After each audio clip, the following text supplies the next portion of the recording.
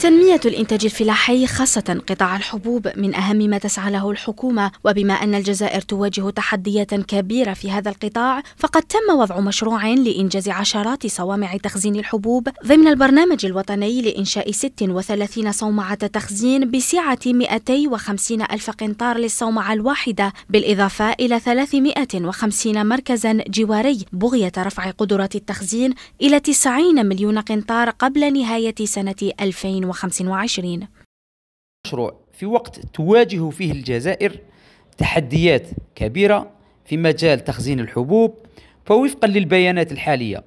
لا تتجاوز قدرات التخزين في الجزائر 30% وهو ما يشكل عائقا كبيرا أمام تحقيق الأمن الغذائي لتجاوز هذه التحديات.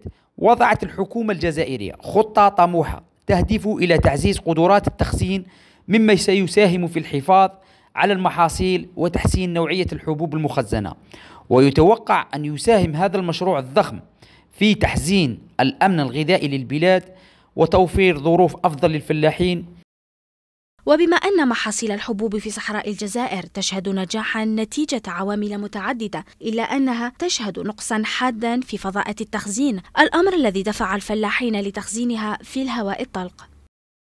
وتشهد ولايات الجنوب خاصة نقصا حادا في فضاءات التخزين مما يدفع الفلاحين إلى تخزين محاصيلهم في الهواء الطلق معرضين بذلك محاصيلهم لعوامل الطقس والتلف.